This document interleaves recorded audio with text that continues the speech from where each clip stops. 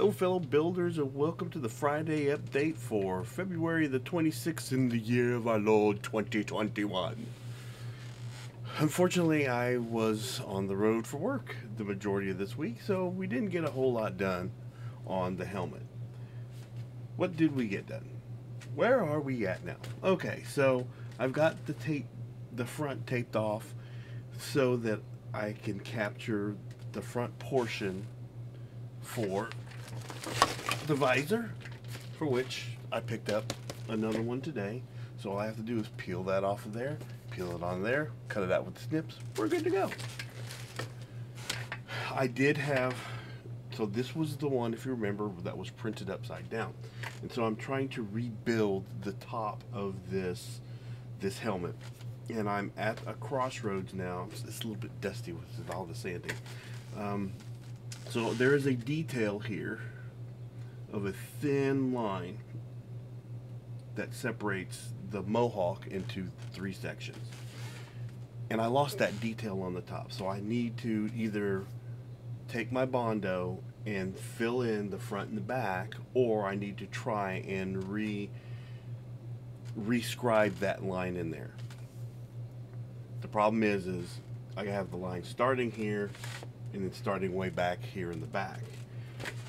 And at first I thought I was going to take my calipers and you can take your calipers and set them to the width of what you need and then you can use the, the tips of the calipers to scribe in um, you know scribe in the, that detail and then I could follow it in by a, a, a knife or something that is actually how I use on the Stormbreaker where it inserts into the hammer. That's how I I knew where to sand I measured the depth of the hole and then I just took this and I just scribed all the way around and that's how I knew how much I needed to sand off to where this will fit snugly into the Stormbreaker I tried it a little bit on on here, but it wasn't working out for me. So the idea that I have now, I've got two options. So one, I can take a piece of styrene and line it up. I've got this isn't the right one, but I've got one that's about the, almost exactly the same width as this, and I can start it on both ends, hold it down, and then have Mrs. Mediocre Modeler give, give me a Sharpie line connecting the two. And then I can go and I will have a visual thing to scribe. That's option one. Option two is to just take the styrene and glue it over the top where that scribed section is and then turn it into a raised section. So we've got options there. But it's coming along. It's it's we we're we're gonna get there. We still haven't figured out what color we're gonna make it. I'm thinking about since on my helmet I made it kind of a combination of my colors and the Mandalorian colors. I might just do this all silver like the Mandalorian's helmet. Haven't decided yet.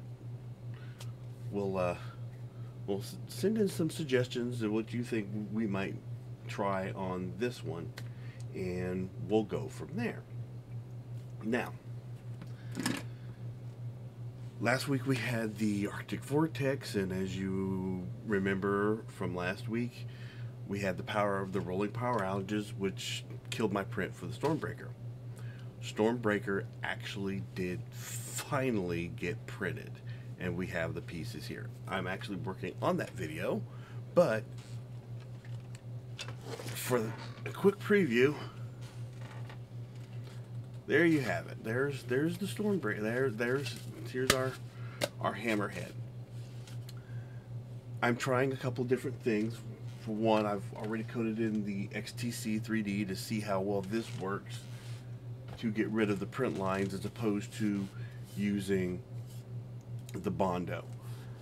Uh, I have some ideas on that uh, of, of, how I feel about that, but you'll have to wait till you'll have to tune into the Stormbreaker video to see the outcome of that. So that gives you a reason to come back. But just to give you an idea of size of how, the massiveness of this thing, my original first thought was using this axe handle. You know, I've had this. Had an axe and got it broken and and let, actually I didn't do it. My son did it, but uh, I didn't ever get rid of it because I thought I would be able to use it for something else in the future. I had no idea it was going to be for something like this, but I'm glad I kept it around. But this is a massive handle. So you got that. You have the blade. And you get those two socked together already you can see nice snug fit. Already you can see this thing's gonna be big. I mean, and then you throw the handle in there, and the handle will be epoxied straight in place. That that is scarily huge. but oh, there you go.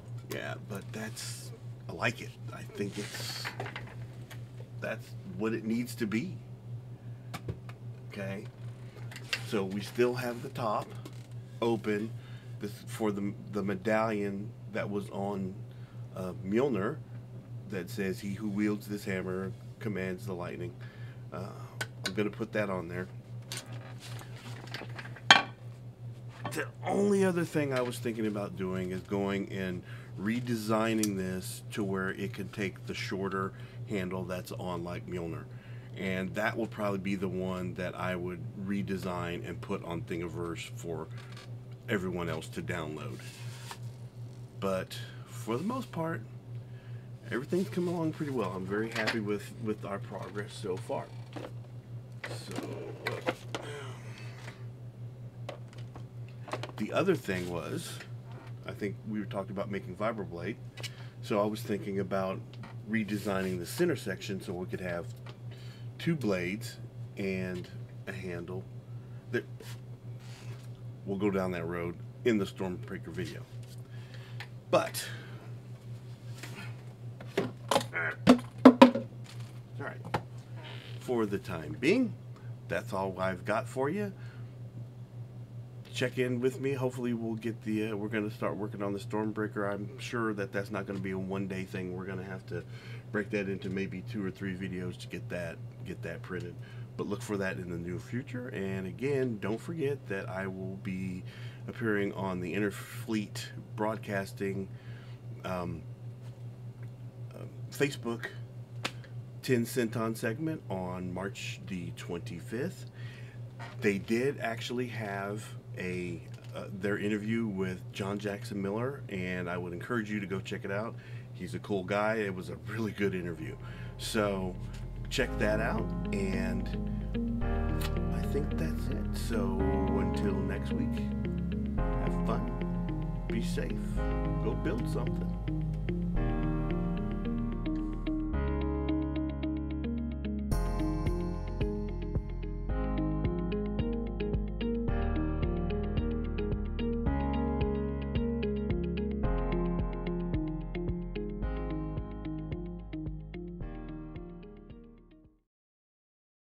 Pew pew pew pew pew pew pew pew pew pew.